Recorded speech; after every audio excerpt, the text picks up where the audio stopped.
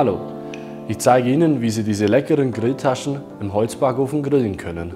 Für den Hauptteig benötigen wir folgende Zutaten. Ein Dinkelmehl, Salz, Hefe, Pflanzenöl und als Schüttflüssigkeit Wasser.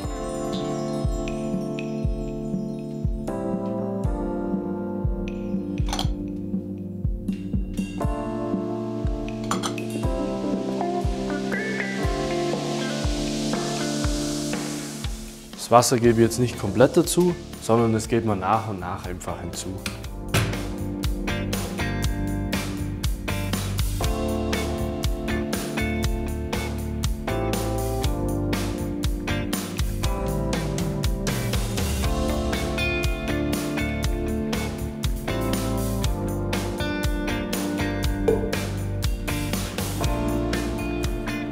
So, unser Teig der ist jetzt fertig ausgeknetet können wir uns jetzt selber gleich anschauen, indem wir jetzt die Fensterprobe machen. Ich habe jetzt hier so eine Teigwanne einfach mit dem Trennspray ausgesprüht und da können wir jetzt unseren Teig in die Teigwanne hineinlegen und dann nehme ich jetzt einfach mit nassen Händen mal so ein Stückchen raus und dann können wir auch gleich die Fensterprobe machen. Man sieht ja hier wunderbar glatte Oberfläche, der Teig ist super stabil, der ist also fertig ausgeknetet. Jetzt kann man den Teig auch noch von alle vier Seiten wie so ein Paket einpacken. Das ist gerade beim Dinkel immer sehr wichtig nach dem Kneten. Dadurch bekomme ich einfach noch mehr Stabilität in den Teig. Und dann kann ich den jetzt einfach so ruhen lassen, bevor wir unsere Stücke abwiegen. So, unser Teig konnte jetzt ruhen. Jetzt wiegen wir aber unsere Stücke ab.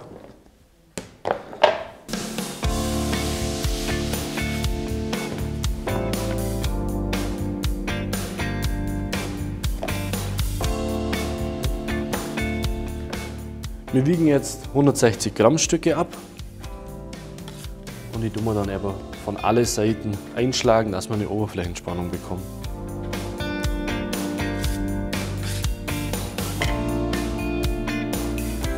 So, jetzt tun wir unsere Teigstücke von alle Seiten einfalten. Dass man eben da so einen Schluss bekommt. Und man sieht jetzt an der Oberfläche, wenn man drauf drückt, da haben wir eine wunderbare Oberflächenspannung. Gibt es natürlich verschiedene Möglichkeiten, wie man das machen kann. Entweder so dieses Einklappen am Schluss unten oder man kann das natürlich auch in der Hand direkt machen.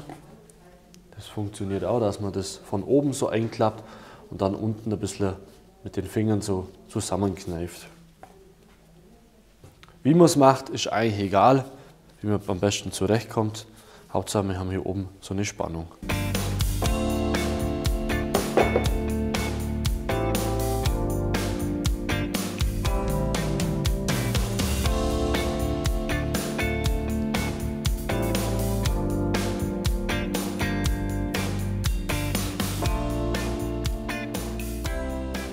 Nachdem wir jetzt alle Stücke ausgeformt haben, decken wir das Ganze mit einer Gärfolie ab und dann können wir jetzt das Ganze über Nacht in den Kühlschrank stellen. So, unsere Snacktaschen konnte jetzt bei Raumtemperatur entspannen. Jetzt formen wir sie aber noch aus, beziehungsweise mit uns nur ganz vorsichtig ein bisschen in eine flachere Form drücken. Wenn ich jetzt merken würde, dass der Teig noch sehr viel Spannung hat, würde ich sie einfach noch mal ein bisschen entspannen lassen, weil ansonsten zieht es so arg nach oben und dann ist es äh, so wie so eine runde Kugel sieht es dann aus. Dann nehmen wir jetzt ein bisschen Streumehl, das wir dünn auf unserem Schieber verteilen und dann können wir eben den Snacktasche schon drauf platzieren und können sie in den Ofen schieben.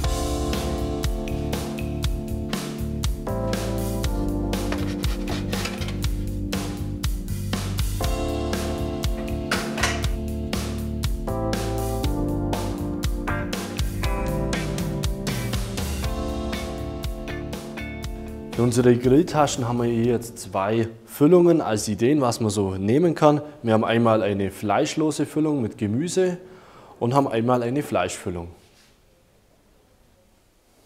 So, wir haben jetzt ja unsere Grilltaschen kurz vorgebacken, dass sie aber schön weich sind.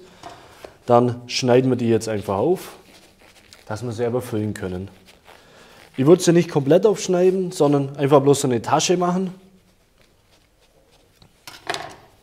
dass man sie einfach gut füllen kann. Streichen wir die Füllung einfach schön rein. Und dann können wir das Ganze so ein bisschen zusammendrücken, dass die Füllung eben ringsherum sich verteilt. Und dann können wir die schon auf unseren Grill geben und knusprig backen.